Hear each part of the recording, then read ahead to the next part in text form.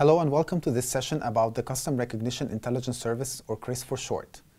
CRIS is part of Microsoft Cognitive Services, a suite of services and APIs that let developers harness the power of machine learning to build more intelligent apps. My name is Osama and I'm part of CRIS team. Voice is quickly becoming an essential mode of interaction between people and machines, but voice interfaces are only as good as the speech recognition systems that power them. Today I'll show you how to use CRIS to create a speech recognition experience tailored to your application. Before we begin, let's briefly talk about how speech recognition systems work. Speech recognizers try to determine what was said based on the voice signal captured by the microphone and prior knowledge about the language. Speech recognition systems perform best when two conditions have been met. First, the system knows the most common queries and vocabulary terms that will be used in an application. For example, words and phrases used to make grocery list in a shopping app will be quite different than those used to book an airline ticket in a travel app. Second, the system knows about acoustic environment in which an application will be used. For example, if an app is designed to be used in a noisy warehouse, the system should have previously seen many examples of speech captured in this environment. The Microsoft Speech-to-Text Engine is a world-class speech recognition cloud service that provides state-of-the-art performance across many common usage scenarios, such as interacting with Cortana on your smartphone, tablet, or PC, searching the web by voice, or texting a friend.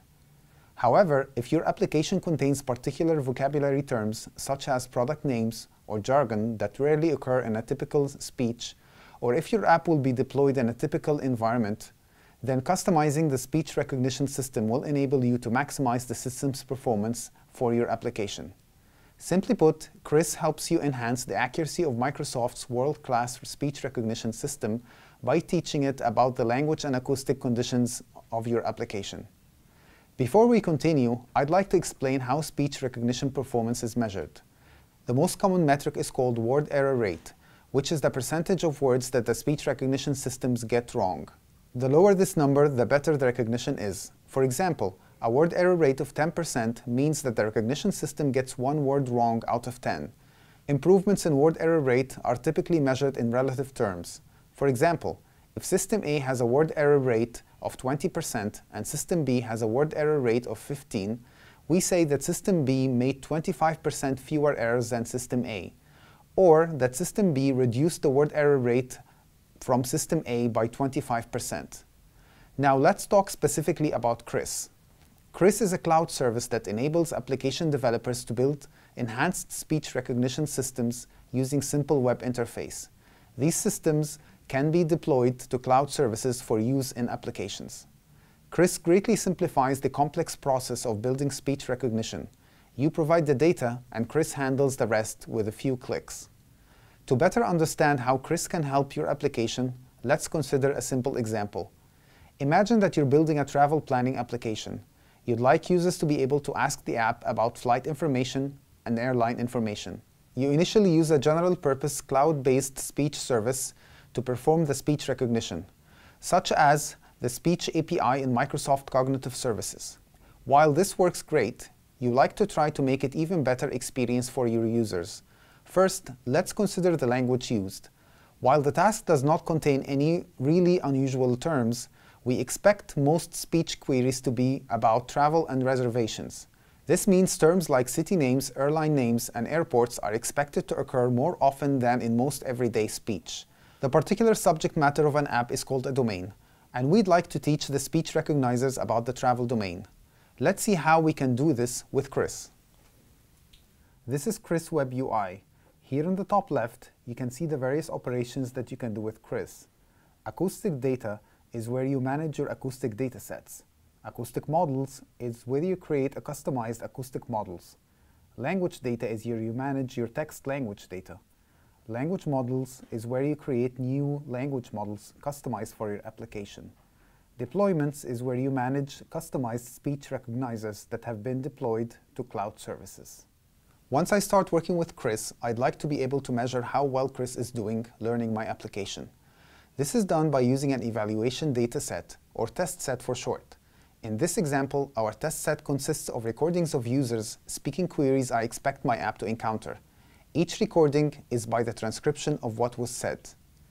Whenever I work with CRIS, I can request that CRIS evaluate this test set and give me a before and after word error rate measurements. This way, I can clearly see how much improvement I'm getting. Here is an example of a test recording.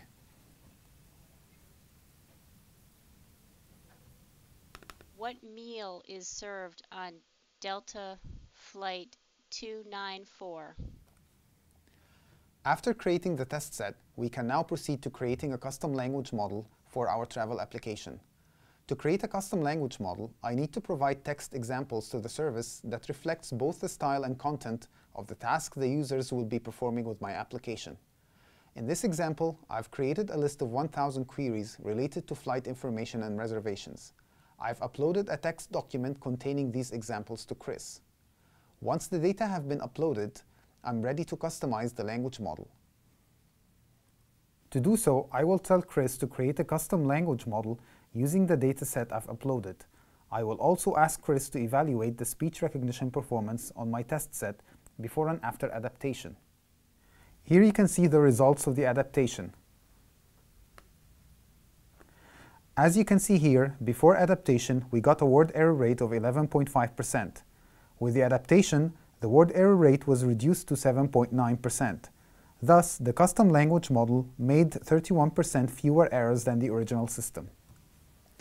So this is great. We've improved the user experience of our application by improving the speech recognition accuracy. Actually, our application became so successful that one airport wants to install it in kiosks in the terminal so that passengers can use it to ask questions regarding flights. But now we're faced with a new challenge. The acoustic environment in an airport terminal is very noisy. Background noise from passing passengers, shops, and intercom announcements may adversely affect the speech recognition accuracy. To be sure, let's collect some data. This will enable us to create test set for this new airport kiosk scenario. Here is an example of our recorded test data in an airport.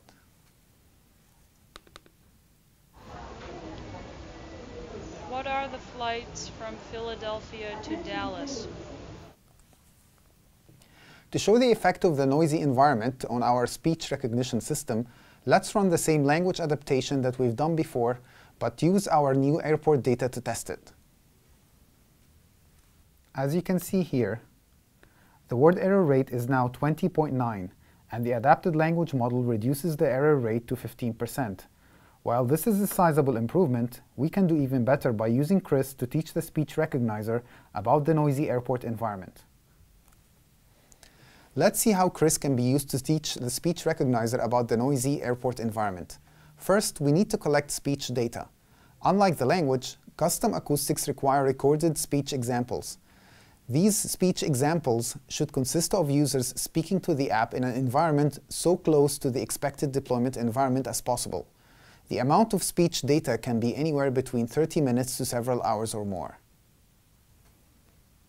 In this example, I've created a dataset of about three and a half hours of travel-related phrases spoken in an airport terminal. As you can see here, our baseline of 20.8%, but after acoustic model adaptation, we got 13.8%. That's a great improvement. Now let's see the effect of both language and acoustic models combined. Here I've repeated the language model adaptation but used the newly adapted acoustic model to perform the testing. As you can see here, our baseline is 13.8% and our final word error rate is 11.4. This is about 46% reduction in word error rate from our starting point of 20.9%. That's more like it. Now that we have great results from our offline tests, we're ready to deploy our custom speech recognizer to a cloud service for use by our application. To do so, we go to Deployments and create new one and specify which models to deploy. As you can see here, I've already deployed our custom models to an endpoint. And we can see here the endpoint address. As you can see here, there are two endpoint URLs, one for plain HTTP requests and the other one for WebSocket requests for Speech SDK. All I need to do in order to use the speech recognizer is to copy-paste the URL that I want and use the primary or secondary key here. I can also from this screen test some audio files, I can upload a quick file here and get the transcription just to see how my endpoint is doing. Here I've created a very simple application using the Speech SDK. On the left, you'll see the recognition returned by the default speech recognizer. And on the right, you see recognitions returned from our deployed speech recognizer.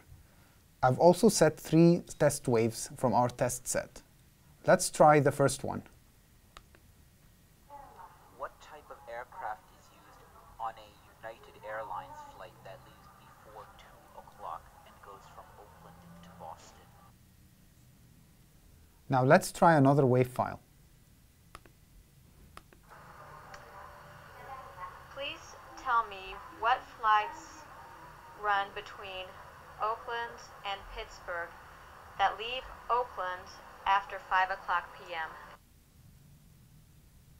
Here on the left, you see the output from the default recognizer.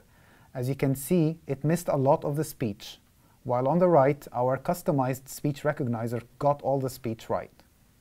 Let's try the third one. I would like to see all flights from Atlanta to Washington, D.C. on Wednesday evening, December 18th, and Thursday morning, December 19th. Again, on the left, you can see the default recognizer missed a lot of the speech at the end, while on the right, our customized recognizer managed to recognize all the text. In this session, we demonstrated how to use the Custom Recognition Intelligence Service to create a custom recognizer tailored to your application's environment, user population, and vocabulary. We also showed how to then deploy a custom speech recognizer to a cloud service for use by your application. Thank you for watching. For more information about CRIS, please visit the links on the screen.